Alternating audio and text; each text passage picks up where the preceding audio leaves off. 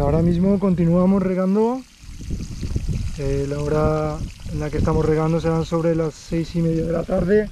Ya no aprieta tanto el calor, por lo tanto hay menos evaporación y lo cual es bastante bueno, ya que vamos hacia cada vez más calor. Eh, como podéis ver, las tomateras están bastante dispersas las unas eh, de las otras en general y cuando se han ido acercando cada vez más entre ellas, pues he ido podando los diferentes tallos para que en esta manera de cultivar circule más el oxígeno entre las plantas y le pueda entrar más sol.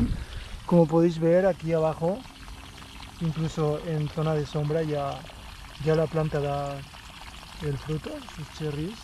Aquí mismo también lo podéis ver.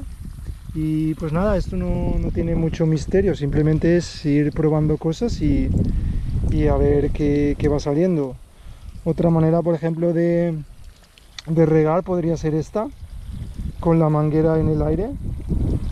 Y, y entonces el goteo pues, pues va captando el nitrógeno a través del salto del agua y, y va va regando la planta. Asimismo aquí también podéis ver cómo van y qué tamaño tienen los tomates. Ahí vemos ya uno aquí detrás. A ver, a ver, vamos a verlo.